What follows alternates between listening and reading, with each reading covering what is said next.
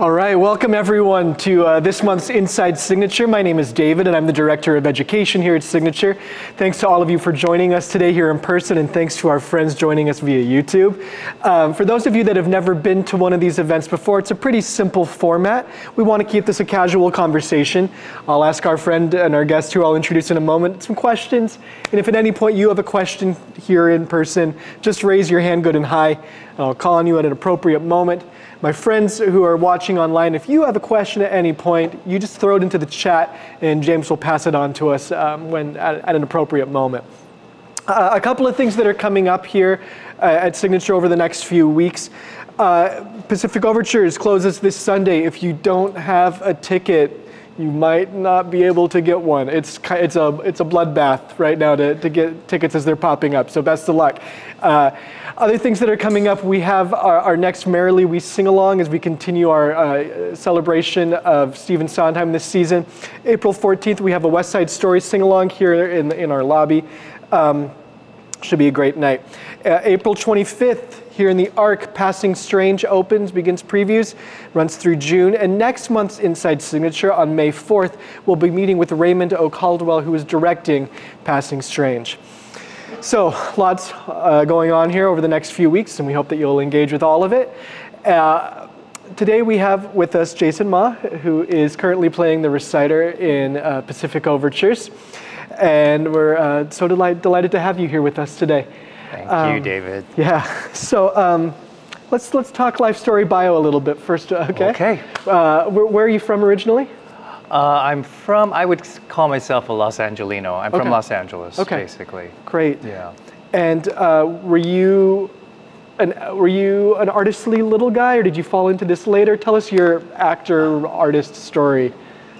I think uh, from a very early age, I I love to sort of perform. Yeah. Um, you know, but it was all like as in context of being a child of immigrants. Mm. So uh, just school plays, choir, marching band, orchestra, piano lessons, uh, all the things. Yeah. and um, I think at some point in high school, once I uh, started doing musical theater, mm-hmm. Uh, I think I began to realize that it was something that uh, made me feel essentially myself the most. Right. And uh, that feeling kind of uh, intensified as uh, I approached adulthood and especially college. And I remember having a conversation with my parents about uh, the possibility of uh, being a professional actor, which they shut down immediately. Um, the immigrant parent story. Yeah, yeah, and you know they were uh, they were very smart about it. I, I think uh, in many ways they uh, they could immediately see the challenges that would come up for me, mm. and they laid them out very clearly. Uh, uh, basically saying, you know, there's people who people who look like us don't do this, and especially at the time I was growing up, that was very true.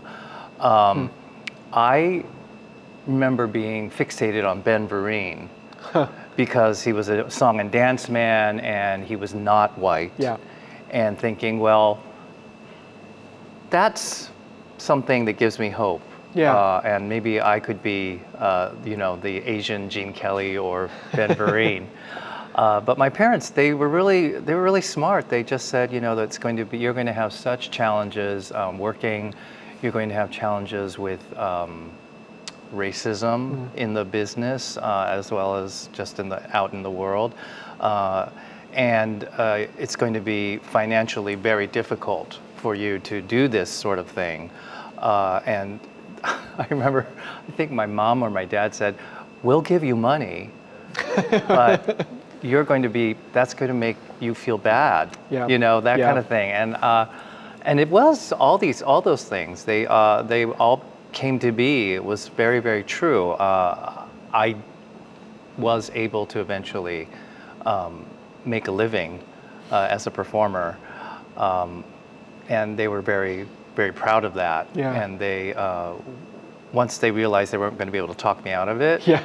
uh, they, they were very supportive. My mom, um, until very recently, uh, was able to just fly anywhere to come see me perform. She just was very supportive. Uh, and, you know, it was a big journey for them to go from, uh, also, I was really good at math. okay. Okay. I had really good grades, and uh, I think, especially for my engineer father, it was, you know, he had a very specific uh, dream for me Yeah. uh, that didn't come to pass. Yeah. did you did you go to school for musical theater then, or for yeah, acting? I, um, you know, I went. Uh, it was really just around that period of going into college. So I, I went in as an undeclared major at UCLA. Okay. Um, but I, I think I even knew then because I, it was the easiest way to sort of reduced the friction between my parents and myself Yeah. uh, as, as I was going forward. And uh, by the end of my freshman year, I had transferred into the theater department Okay. there. Uh, wow. So it happened quickly. It did Okay. happen quickly. That's great. Yeah, I had a plan. Do you um, do you remember what your the, your first show you did was? What's the first thing you ever remember doing? The first thing I remember doing uh, was a Brecht piece Okay. called The Cradle Will Rock. Uh huh. Uh huh. And um, that was uh, the beginning. That was my first show uh, in my freshman year. I do remember also um, auditioning and meeting uh, my friend Alan Muraoka. Okay. He is uh, he's played Alan on Sesame Street for a number of decades now. He's Oh. the grocer uh, Uh-huh. who took over for Mr. Hooper, I believe. But he's now actually been in that grocery store for longer than Mr. Hooper. Uh, he also uh, has ended up being um, a, a lifelong friend, a collaborator. Hmm. Uh, he's a wonderful actor, but he also directs. And, Okay. uh, he's, he's directed pieces that I've written, Wow. including Gold Mountain. So uh, even back then, you know, we, we formed a, a connection immediately. We were college roommates, and um, uh, it's interesting how somebody you meet in your freshman year in college can still be, you know, decades later, Mm-hmm. somebody who's so essential uh, to to your life. Yeah. Yeah, That's beautiful. yeah. Uh, so you, you, you go to UCLA, you graduate, you go straight to New York? What what happens, what happens Um, next? I did a lot of. uh, It took me a while to get through UCLA because actually, like by my um, the end of my freshman year, I had booked a professional uh, job. Awesome. And uh, so it took me about five and a half, six years. I mean, I actually entered UCLA with uh, a semester's worth of credits already, but uh, just the taking breaks to work, uh, it took a while. Yeah. And then um, I think the first thing I did was um, out of school, the LA Company of Cats. Okay. Okay. I love it. Yeah, uh, I, I didn't really have um, a plan to come to New York, but New York called me. Um, I think, uh, you know, there were not a lot of uh, Asian performers uh, in the country, literally, Wow. who did theater. So uh, I, I think I did one of the very first sort of virtual on video auditions back in 1988 or something Oh, like that. Uh, and they taped me audi- to audition for a show here uh, in New York City. Yeah. And um, I, in 1989, I flew to New York and started rehearsals for uh, Chu Chem, Okay. which was my Broadway debut. Okay. I don't know it, but Yeah, that's great. nobody does. Okay. It's all right. I love it. Any questions from you all so far? Barbara, please. Yeah, I have two questions. Um, your your father was an engineer, you said. Uh-huh. Did your mother uh, was she a housewife or did she have a career? And my second question is, you said Cats was your first out of college uh, display. How do you feel about cats? Oh, People make fun of cats. I mean, I don't, I don't like. I'm not a cat person myself, but I'm a cat person in that I didn't mind cats at all. Okay, so I, I'm, I'm going to restate the questions for our uh, online folks. So, question one was Dad's an engineer. Was mom a, a housewife or, or did she have a, an out of home career? And the second question was Your first professional gig was Cats. How do you feel about Cats? Yes. Because that's a show that has some baggage for some people. Yes. Yeah. Yes. So, all right, let's start with the easy one. Uh, my parents um, met at Stanford University. Um, they're both uh, our fam- they're both their families came to the U.S. or actually left China because of um, political turmoil, war, revolution, um, right before World War II, um, and uh, they both ended up uh, through very separate paths uh, meeting at Stanford, and. Uh, back then, uh, for a lot of women, I won't say all women, but uh, I think even if you were at Stanford, the primary goal was to meet your husband. And um, I'm, I think once my mom met my dad, um, then it was expected that she would be become a housewife. Uh, she's really smart and really, uh, really sharp. And uh, we, for a while, we, while my dad was an electrical engineer and actually worked um, with NASA and as well as the U.S. government, he was really, really brilliant. We also uh, owned a Chinese restaurant, a series of them, um, because uh, I, I think when you're part of a diaspora, um, you know, uh, when things are not secure in your home country and you kind of go through periods of unrest and danger, uh, as well as economic uncertainty, um, there's just, you work and work and work and you make sure your children um, are have like a big safety net. And I think that's why, uh, even though we could have just lived off my father's salary, we we just did extra things. And eventually, my mother uh, fell into real estate. Um, I think uh, she started out as a residential um, real estate broker, but then ended up doing investment properties and becoming really quite successful uh, doing that. And um, we stopped. We stopped with the Chinese restaurants once that happened. Cats. Cats. um, at the time, uh, I was really excited to be in Cats, um, just because uh, it was the big deal back Right. then. And uh, as a, somebody who loved to do both sing and dance, uh, it was really a wonderful uh, kind of high-profile job. Um, as a writer, uh, I think it's a very interesting piece because it's based on a cycle of poems, and it, it is in a in a sent, uh, in essence uh, a song cycle. Uh, I I think it's a little baffling for audiences um, at first. I think visually it's really interesting, but I think trying to figure out what's actually happening on stage, um, if you're not a fan of the poems, um, might be a little tricky for for people. But I, I, I think it's it's part of the canon, and uh, we, you know, it is. Uh, it is what it is. Yeah, absolutely. Great. Any other questions? All right, let's. Um, I want to talk Pacific Overtures. Um, Yes, let's do that. Show of hands, who has seen this production so far? Okay.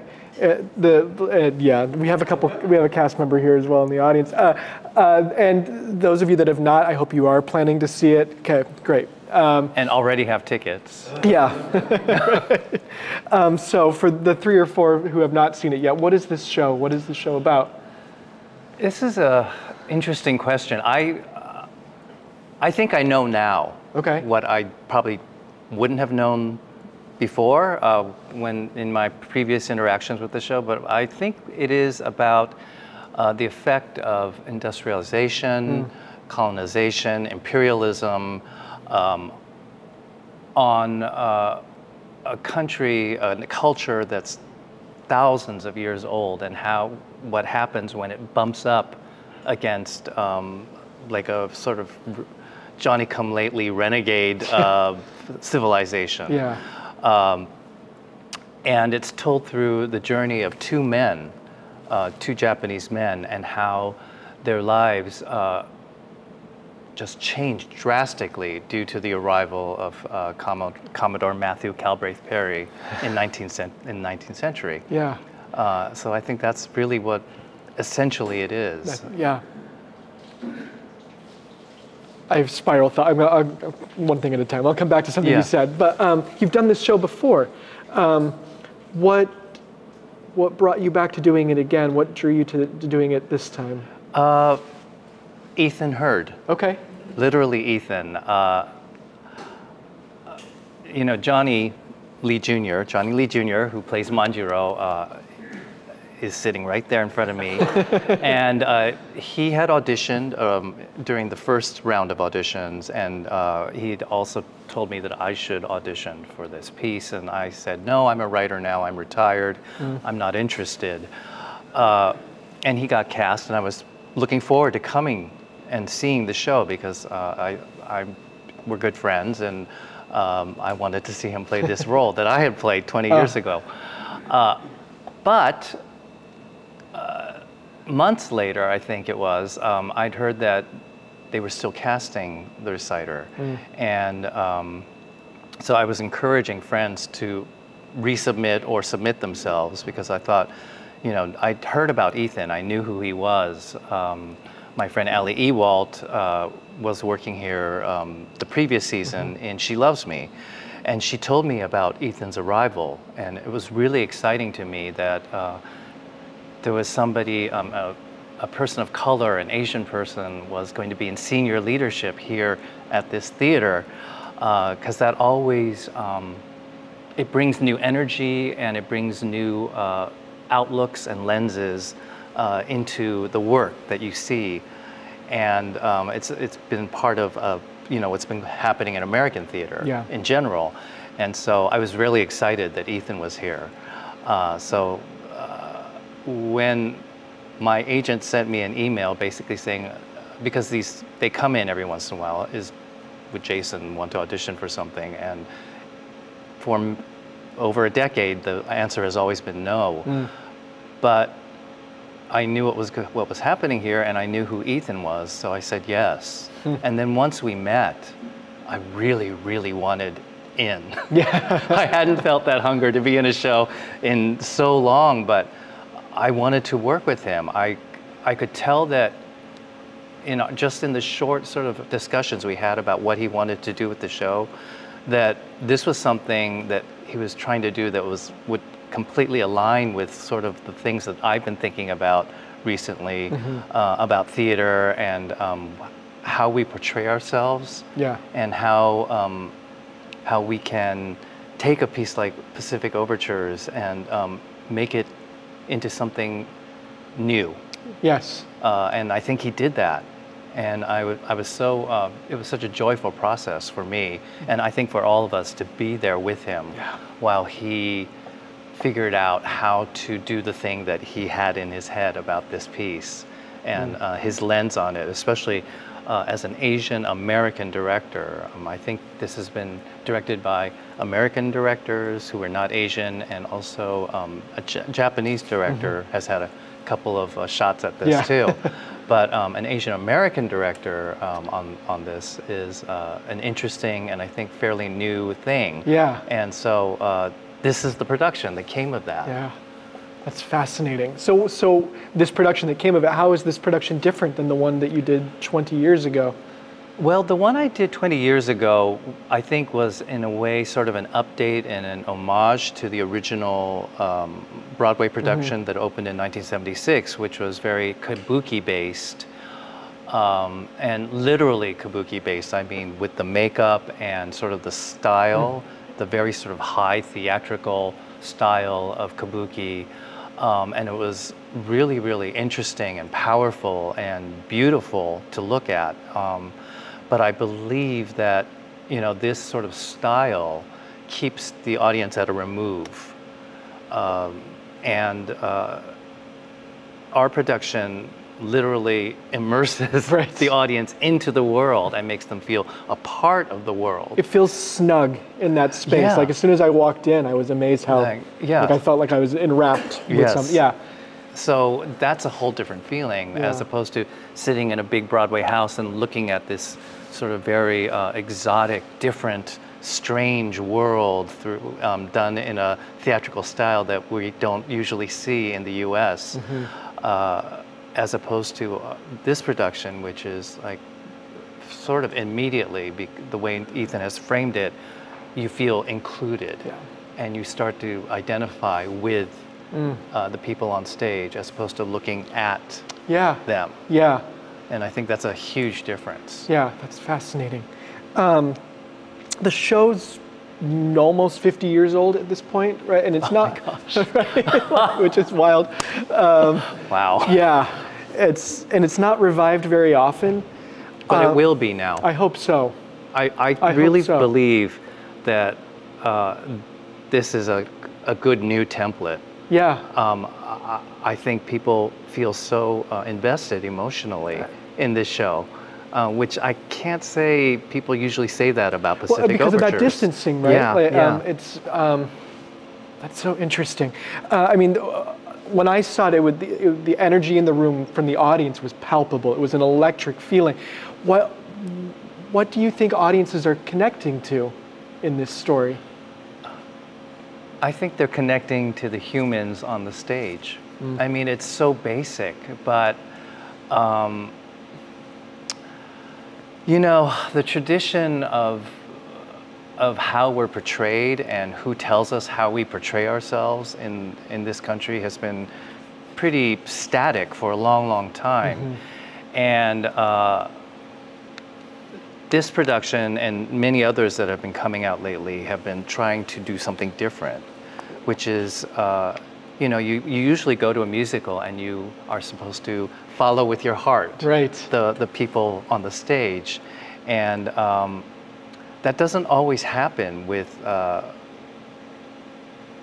especially with Pacific Overtures. And I think that's why, um, that's what's going on. It's like, Yeah. it's literally something that's we uh, take uh, we assume to be true of all musicals It's like you go there with, and somebody takes your heart and you follow them around uh, and i think that's what ethan wanted to do with this production that. and uh, i think it's even in the design you know our faces are so bare uh, Yeah. in the show and um, we're not covered in kabuki makeup Mm-hmm. and even um, when we have the wigs on it's still just our faces Right. uh, which I think is really interesting. Um, he's really centering uh, the the humanity of the artists, and therefore the humanity of the characters, and the humanity of uh, Asian bodies Right. in space. Right. Uh, and uh, that that's all we could ask for. Yeah. That's all we really want is just to um, to be able to tell our stories in this particular way. Uh, it's it's not always true for Yeah, us. that's that's fascinating. Uh, any questions from our audience? Yes, Sarah. Um, since you have been writing for 10 years, has that changed the way that you would approach a role like the reciter um, versus maybe how you would have approached it 20 years ago in your the first production? you were in? Great. So the question uh, was, uh, you've been writing for a decade plus. Uh, has that changed how you approach a role on stage, particularly in this case, the, the reciter? Yes, definitely. Uh, especially for something as precious as Sondheim and, um, and Weidman. Uh, I, I, I've become such a super fan of their writing by Yeah. inhabiting it as, as an actor uh, in a way uh, that's different than before because as I think before without the writing lens uh, I would just try to inhabit the character and tell the story which is still something I want to do but I also get this bonus of enjoying and working on the words themselves. So um, I think it makes me a much more sort of articulate and uh, literary presence. Uh, and I think, uh, especially for this particular version of the reciter, And who I wanna talk about literally him. walks on with Yeah. a book Right. in hand Yeah. uh, and is dressed basically like half the guys in the audience. Yeah, right. Uh, I, I think it really serves serves the piece well Mm-hmm. and sort of serves uh, Ethan's vision of it well. Is that uh, you have somebody who's really very uh, very much into the language Yeah. and the story and the structure Uh-huh. of um, of what what is happening um, around him. So uh, it is it's been this really interesting meta version of uh, the show. I think there's a lot of that going on in the storytelling. Mm-hmm. So who is this reciter? Because it's a pretty different take on the. If you look at the original production, it's it's a drastically different take on the character. Uh, the first sketch, the first costume sketch of um, the reciter that I looked at looked like Ethan Heard. and uh, that was my first clue that, oh, I get it. We're, uh, we're and Ethan uh, in our rehearsal script also um, added some stage directions for, for us, Oh. for our particular production um, just to give us clues as to what he was thinking. And he described uh, the reciter as um, a contemporary uh, Asian American man in Shirlington, Virginia.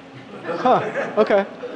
Uh, so I think that So we are here. we are here, and Yeah. you are here with us, and I am here with you. Love that. Uh, so I think that's it was very much just about basing the character on on me and Ethan, Mm-hmm. uh, who would say these words that were written by John Weidman, Yeah. who is a writer, and so I'm a writer, and so And it helps that, you, that it's coming from this book because some of it is high language. That, Yes. That's, yeah. So that makes sense. I like that. I Yeah. like that a lot. We have a question from online. Uh, so this is a question. Could Jason speak to the beginning and ending moments of the show, specifically the group check-in that happens at the top of the show and the other moment of stillness at the end of the show following next? All right. So the question was, can we talk about uh, the, the the beginning and the end of the show? We begin with a check-in with the uh, with the actors together, and then there's a moment of stillness uh, uh, with the cast at the end. Talk about the the top and the and the close. You know, the top is my one of my favorite moments in the show. Um, I think, you know, I don't honestly know intellectually what it means. Yeah. Um, I, I, well, actually, maybe I do. Uh, the, the prologue of um, bringing the book on and kneeling and creating a sacred space in our little square of sand and soil uh, is um, very much about just um, prepping the audience for uh, a journey, um, one that is abstract and not always literal. Yeah. Uh, but that moment of check-in with the cast, it's kind of brilliant. And weirdly, uh, I, you know, we just I did another. Uh, I was involved in another production where we did that as well, and it was also a cast of Asian people um, telling a story about ourselves. And I think it's just something that may be in the air right now that we are we are basically creating a tribe creating a safe space for ourselves um, holding hands even Yeah. if we're not Yeah. together for a second uh, to say we're going to do this we're going to be together we are family um, and just create that that energy of Yeah. that and by doing that in a circle surrounded by a circle of audience members we're just creating i think um, a connection between the audience and and the humans on stage Yeah. and letting everybody sort of be together for a second before we start telling the story Yeah. but if you really want to know you're going to have to ask ethan I love that. Uh, any And other? then- yes. and the- please, at the end, right? Yeah, yeah, that's right. The end. Yes. So I'm, I'm assuming we're talking about the, the aftermath of the, exp- Yeah. of the explosion, or we. So I'll just talk about the end in general. There's there's a moment at, at the end where there's a sound of an explosion, Mm-hmm. and the lights change to blackout, and they come back up uh, as there is a heartbeat drum and a sort of a static sort of uh, soundscape. And we come up on people lying in different positions all over the stage, and um, we're invoking um, the atomic bombs Right. uh, in Japanese history. And then we start the turntable again to symbolize that people and go on Right. after devastation. Um, It's very powerful, It and I get to walk into that and and start the turntable again. And every night it's very moving. I don't have to act; I just have to stand and look, and it's there. Uh, so that's one of our still moments. And then the other still moment is after. Uh, just a lot of uh, chaos invoking sort of the modern world of consumption and uh, uh, waste and consumerism and, uh, and technology, uh, there's a moment where we all stop and uh, I recap sort of the history of Japan being closed and exclusionary, and now it's open to the world. And then we move on to the end. So I think those are the two moments of stillness at the end. Yeah, yeah. Um, and with that end, and I don't want to spoil too much for folks who haven't seen it yet. I, I mean, it's interesting because you uh, you have new stats in the end of Yes, the show, Yes, we do. Which really changed the the tone for me. Is there? Oh man, this is a hard question. is there hope for Japan in, in the end of this show, in the, the, this version?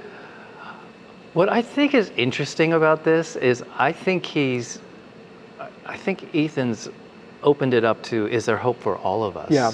at the end of the show?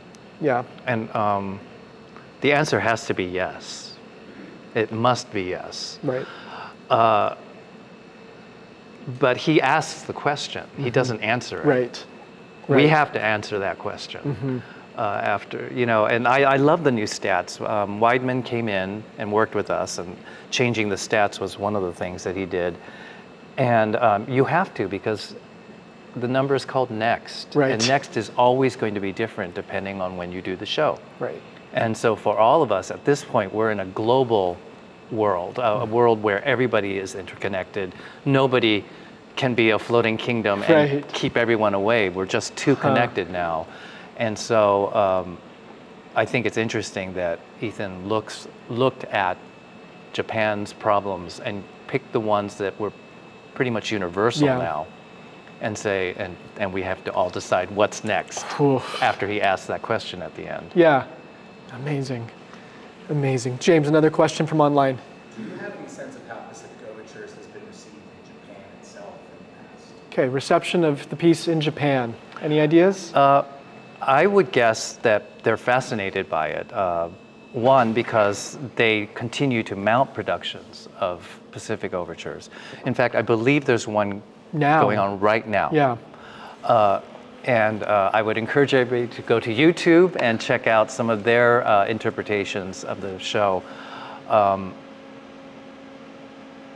I, I think it obviously speaks to Japanese people Yeah. for whatever reason, uh, because they have uh, they have a fascination with this piece. They keep remounting it, and um, it is not like the King and I in Thailand.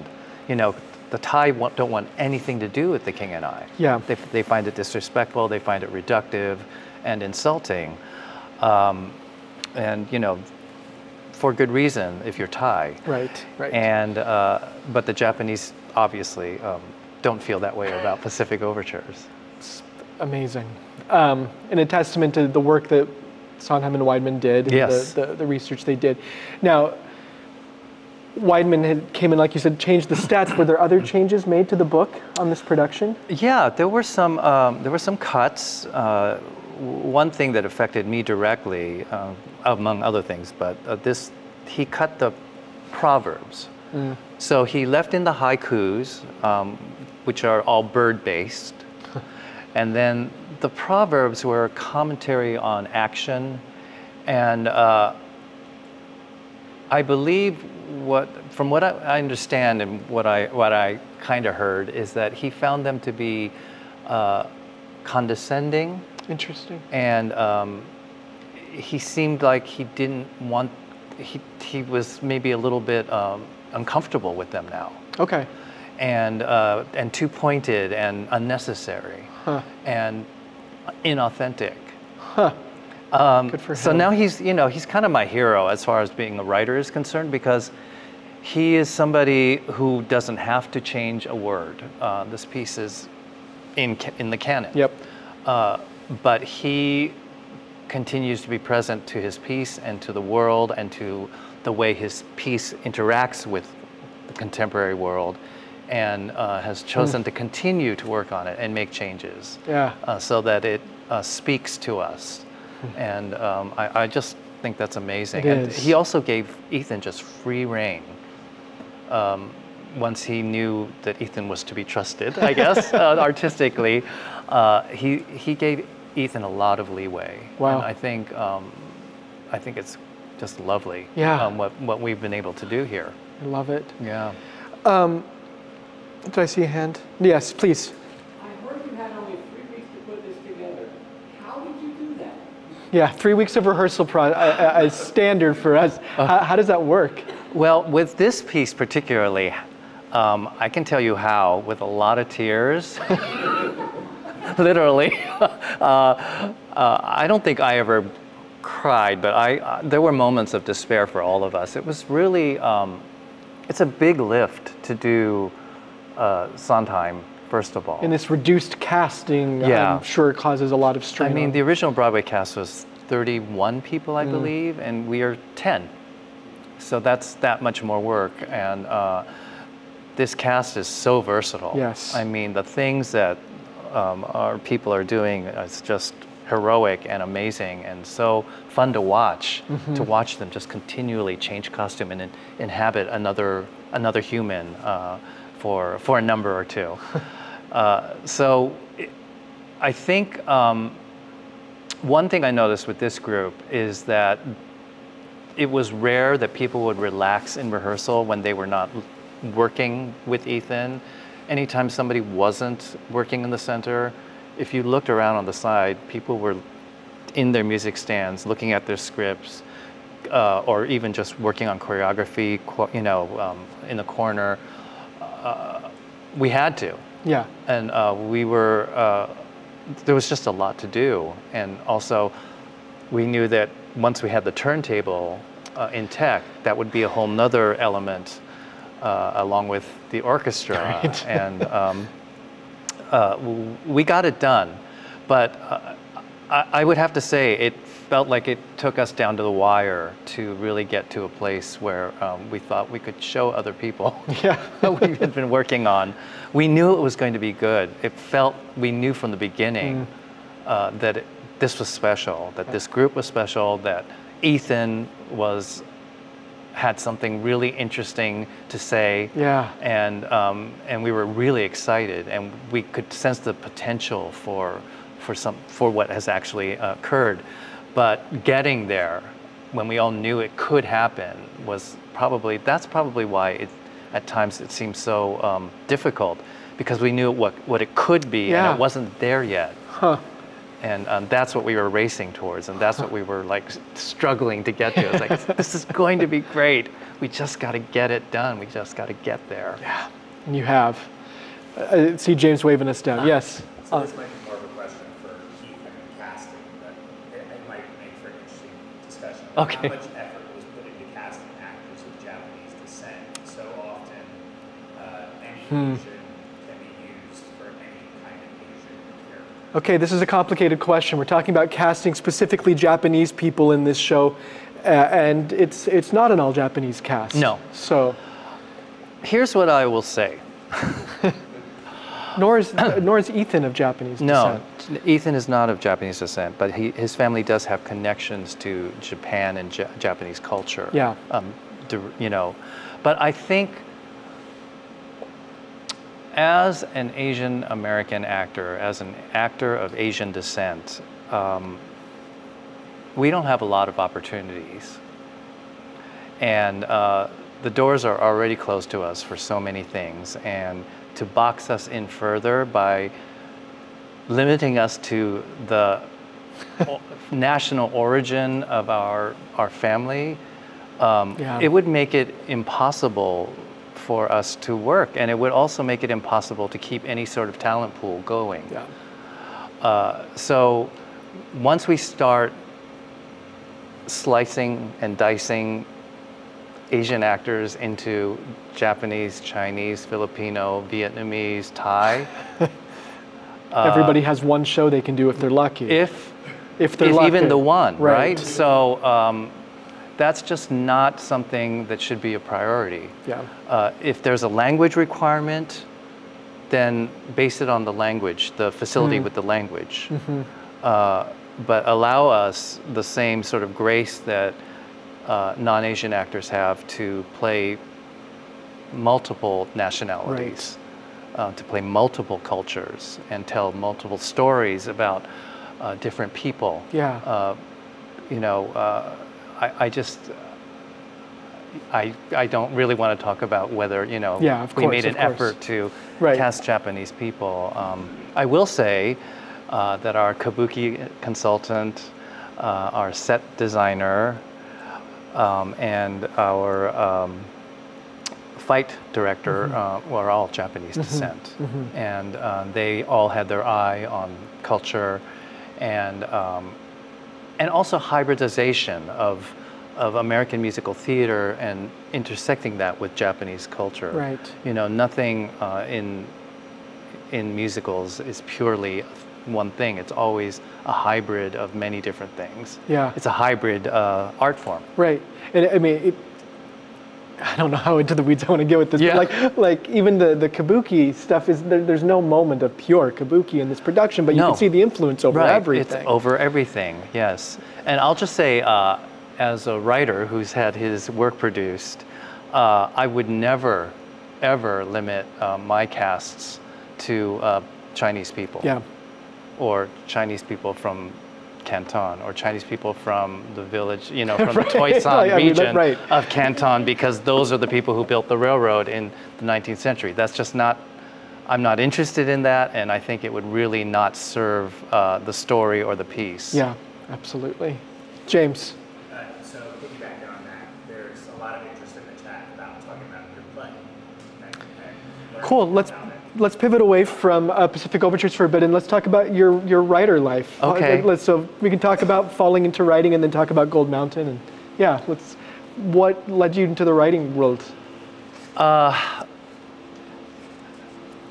This, we'll talk. Okay. Yeah. Yes. The So- first thing, the first thing, uh, this first musical that I wrote, Gold Mountain. Um, And you did the book lyrics and music, for yes. this. And uh, mainly because it came to me in a very particular way. I had not been um, a writer uh, up until Gold Mountain, and um, I was on Broadway in Miss Saigon at the time that the impulse to write came to me. And it, it did come to me in the middle of a show uh, while I was waiting to go on. And it came to me in the form of a lyric and a melody um, that just popped in my head. And uh, it wouldn't leave me alone. Yeah. And I had written songs before, but I'd never written a show before. But this particular impulse was very strong, and I became obsessed with it. And I wrote down this little piece of lyric and music and continued to write uh, for the next few months. and uh, this lyric, this, uh, this fragment, is still in the show, and it's um, literally a piece of a love duet in the middle of the show. And I wrote that song first before even knowing what the show was about or even uh, being fully clear who was singing the song. but it just was so strong. It literally called to me. And so uh, out of that grew um, an entire musical. Yeah. But that's how it came about. Wow. Yeah. And did you have training uh, musically for for composition or? no. Wow. Um, but going back to one of our first questions, uh, I spent a lot of time in orchestras, bands, Ah. choirs. Uh, I was the guy in Miss Saigon who would arrange um, music for our sort of performances for Broadway Cares and, and things like that.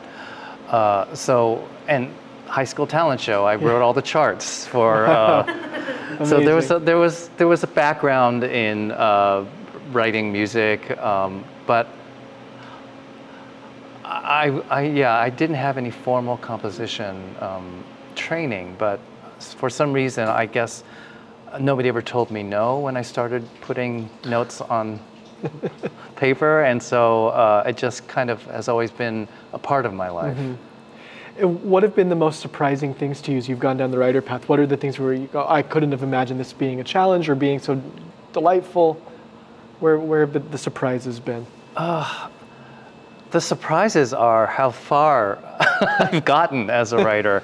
Um, when I first first wrote uh, Gold Mountain and got it out there, I was very naive about how the whole thing worked about being a writer, and uh, also about uh, the kind of reception that a piece about Chinese railroad workers would get um, in the sort of commercial uh, uh, theater space um, in the early 90s. Uh, it was just not there was not a lot of interest, Yeah. and, and there was actually um, quite a bit of hostility towards the piece. Wow. Uh, f- I, am not exactly sure. Well, I think it was just maybe um, the world hadn't moved uh, in a direction where there could be an open mind to something like this. Okay. Um, I guess because uh, I was a non-white writer of a musical, and um, there were no white characters in the piece. You know, I, I just, I, I am literally trying to figure out why people were so mad about it. Uh, literally angry. Angry. Yeah, Fascinating. literally angry um, about uh, about getting having this cross their desk. Wow. Uh, not everyone. Okay. But uh, there was just a lot of uh, very sort of uh, ir- irrational anger towards uh, the idea of this piece. Uh, literally, one very sort of powerful Broadway producer said to me, "Well, stop trying to write." A Broadway musical, and maybe you should concentrate on making Chinese opera more accessible to Westerners. I thought, I know. so literally, just like you are so other that you must, you know, you should work on, work on your own culture. Oh which, I mean, there is Chinese, there is like Chinese opera pastiche in mm. Gold Mountain, but Okay. it really sounds more like Cantonese pop music because Okay. that's what I heard when I was growing up. I don't have any background Uh, in Chinese, in Chinese opera. opera. Uh, so, but the world changed. I mean, there was what was interesting about how you know it took me 20 some years to finally get to a full production of this piece that was written that long ago. But Wow. what's interesting is I got to see the world change by the reception to this piece. Every time, every Huh. time I like had the wherewithal to deal with another round of it rejection, I would put it back out there Yeah. um, periodically. And eventually I could see, oh, there's actually people who are not just, you know, tolerant of it, but interested in it. And Right. uh, it was, uh, it was, it was an interesting way to watch the world change. It's uh, encouraging. It was, it is it's- encouraging. yeah. It is encouraging. Are there future productions, or can Um, you talk about that? I would love to be able to not talk about a future production. uh, there are a number of uh, theaters that have expressed interest Great. in uh, mounting the second production. Yeah. and we're just in discussions. I mean, uh, artistic programming is a tricky puzzle, right? Right. And uh, budget is also a big part of that, and it's a big show. Hmm. Um, but it would fit beautifully in the max. listen, listen up. Okay. Yeah, uh, it, it really would. Um, it's it's a it's a.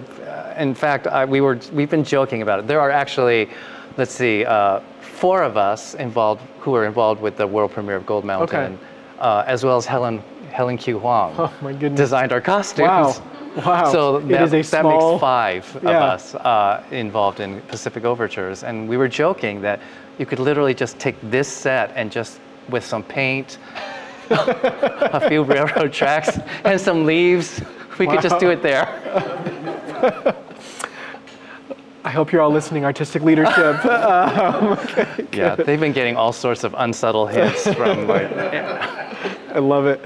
Um, and you've, over the last decade or so, really switched to just focusing on the writing. Is that right? Yeah. So why that switch? Is it just because it just demands so much time, or That's part of it. It, it really sh- it should be a full time job. In Yeah. fact, I feel like I'm playing hooky Yeah. right now, um, but for good reason. I mean, I really do love love being here. Um, also, agency. Yeah. Um, after a while, uh, uh, I think the canon for Asian actors just kind of got me down. yeah. Uh, I've done The King and I enough. I've done, You've done Miss Miss Saigon. enough. Flower drum song too. yes, I'm the- assuming. I did Yeah. Flower Drum Song. Yeah. And so That's it. right. You know, I'm working. I, I will. Uh, I have been doing readings and workshops for friends who have write, written new pieces. Great. Because that's that's kind of like you know, it's it's that's important to do, and uh, I love doing that, working with people I know. Um, but yeah, so I think that's what it is. It's like um, Lee has kicked me in the butt many times when I've gotten down Yeah. and uh, she has uh, she keeps me going and she or what she has said to me the first time i said i was going to stop writing is like you're not allowed to you know it doesn't matter how tired or burnt out you are or discouraged you are you have the ability to write stories and write roles for us and that's your responsibility to, to continue to do that for as long as you can and you know Bjork is like an Energizer bunny, and she. So uh, I couldn't tell her I was too tired or too burnt out to go on because she's going on. Yeah. You know, she pushes and pushes and pushes, and she doesn't stop. And um, you know, she's she's a mentor, and she's also sort of my inspiration. Yeah. I love that. Yeah. Uh, Barbara, sorry, I forgot you had a question like 15 minutes ago. It's still here. Okay. Uh, I, I just wonder if this uh, production of Pacific Overtures is your favorite.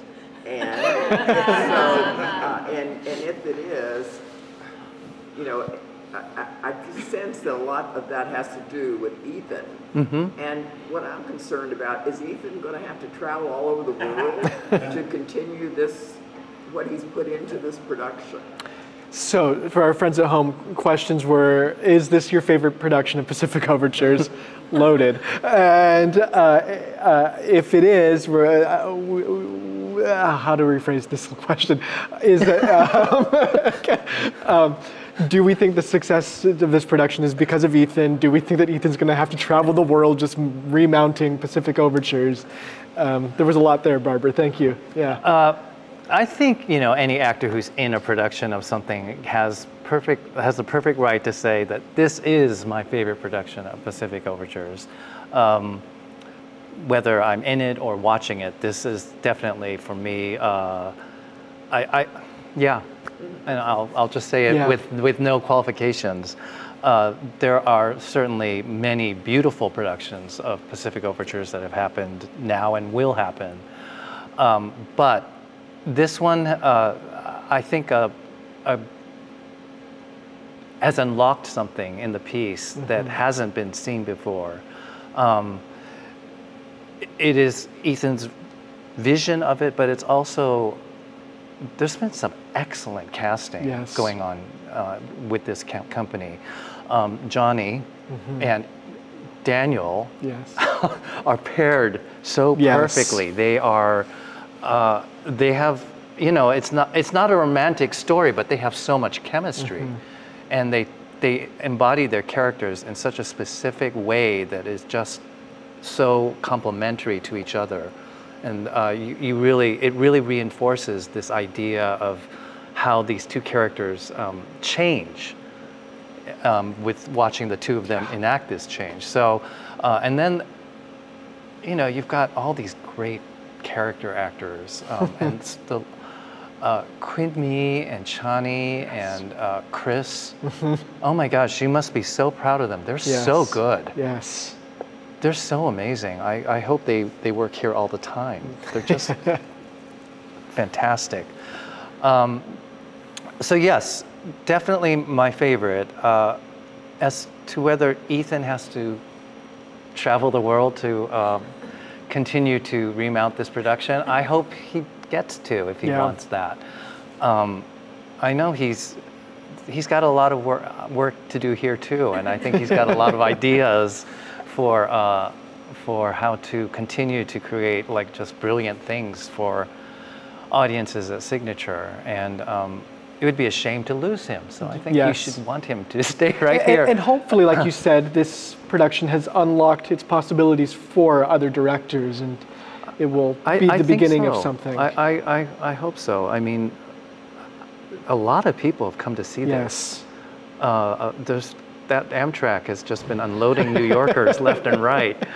Uh, and, um, you know, the fact that uh, John Weidman came, uh, came to our rehearsals and then saw the show twice. Yeah. And uh, he has also, he has gone on record, so I can say it, Yep. as saying that this is um, the funniest version of Chrysanthemum Tea he has ever seen. Uh, and he has been similarly uh, very, very uh, complimentary about the entire production. He, he he's very moved by this production um, in a very profound way, and he's come to talk to us more than once, Ah. just to talk to us as a group. So he's gift. obviously very much. Uh, I don't know, there's something that connects deeply with him Mm-hmm. about this particular production. And so I'm sure that he too will also uh, have some helpful sort of guidance for uh, future uh, leaders who are, are directing this production, this show. I hope so. We are winding down. We only have a few minutes left. Questions from audience or questions online? Yes. I didn't hear you say where the premiere was at Golden Mountain. Oh, yes. Uh, uh, where did uh, Gold Mountain premiere? Talk about that Oh. original production. The original production was at the um, Utah Shakespeare Festival in 2021, and uh, it starred Johnny and Ali Ewoldt. Amazing. In fact, uh, during the run of the show, uh, Johnny and I were in the room helping Ali film her audition for She Loves Me. so, full circle. Yes. Uh, it came about because um, the executive director at Utah Shakespeare Festival came and saw a concert that we did for the 150th uh, anniversary of the completion of the railroad um, in Salt Lake City and um, Ogden. So, uh, and Helen came and designed our costumes. So uh, it's, it was a really um, profound and lovely uh, experience. Um, we were able to attract a lot of Asian people Amazing. in Utah yeah. to come to the show, and they came more than once, actually, uh, because it was just, they connected very deeply with it. Yeah. And uh, I'm hoping uh, we can continue to do that. It's a story um, by us, for us, Yeah. um, but uh, people, people in general just really connected to it. That's great. Yeah. Thank you. Uh, any other questions from our friends here or my friends online? Barbara? One more. One more. I just have to say, this is a comment. I've seen the show twice. Now you've made me want to see it a third time. and I don't know if that's possible because I think it's sold out. But I, but I may figure it out. Yeah, so the, the comment from Barbara, seen the show twice, loved it, but this conversation has made me want to see it more. Don't know if I can. I've been checking the website and like single tickets are popping up and disappearing quickly, so just keep Yeah. checking. Um, if you're aggressive about it, I think you'll find a way. Um, and Godspeed. The box, op- is, box office is open right Yeah, now. box office is open, so on your way out, everybody, stop on by, ask for an extra ticket. Um, so, w- winding down, final minutes. Um, what are favorite productions that you have worked on through your career? Okay. Uh, well, Gold Mountain, of Yeah, course. absolutely. Um, that will always be kind of this seminal, amazing uh, experience to get from a fragment of a song in 1995 to a full production in 2021. That's Yeah. a, like a big chunk of my life spent on uh, a single thing, and it that it actually happened is kind of amazing Yeah. uh, and something I had long ago sort of like let go of. I just thought, as far as it gets, is going to be good enough because it's already, you know, it's it's out there. But we got across the finish line, Yeah. and now I want more. uh, you know, it's odd. My favorite productions tend not to be the ones that are very fancy. Okay. Um, you know, it's always the little things. Like uh, in 1997, we did an all Asian production of Falsettoland Okay. at cool. the Vineyard Theater. And uh, I can't tell you, like Ann Harada played Trina. Okay. And oh, wow. Yeah. Wow. So it was that kind of a thing, Yeah. and it was uh, it was amazing. Um, Francis uh, Jue was also involved. Hmm. Um, we had uh, I don't know why, but people actually are still talking about that particular little summer thing that we did just for ourselves that blew up and had to extend and got all sorts of press. Um, so yeah, it's it's shows like that that are more important to me and actually more fulfilling to me than like doing cats. Cats, yeah. Or even or even Miss Saigon Yeah. on Broadway. Um, it was really exciting to be a part of that. Uh, and uh, I'll always be grateful because of all the friends that I was have, had been able to make there, and also because it so it really changed the what would I call it? The sort of the the geography of of the talent pool in um, New York City. Uh, up until this is di- a digression, but I'll, I'll just go with it. Up until Miss Saigon, uh, there was not really a sustainable talent pool of Asian actors in New York City because these big shows would only come once every two decades or so. So that's just not enough to sustain a, a musical theater pool. Right. Right. Uh, once Miss Saigon happened, and once, uh, and it was a 10-year run, uh, we created a sustainable talent pool that has never gone away. It's It's, only grown, That's amazing. and uh, that is the gift and the blessing of Miss Saigon, as far as I'm concerned. It Yeah. created a sustainable musical theater community of Asians.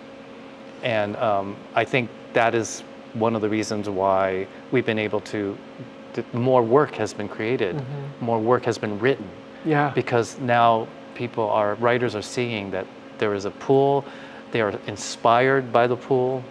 Um, so many talented people.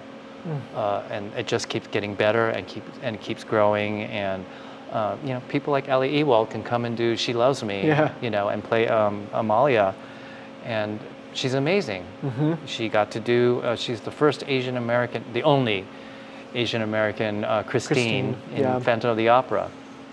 Um, that may not have happened without Miss Saigon Right. because her seeing the show inspired her to continue um, into it, into the into the field. And Yeah. I think that's the other thing, is that uh, seeing somebody like Lea Salonga um, become a star uh, created dreams and possibilities.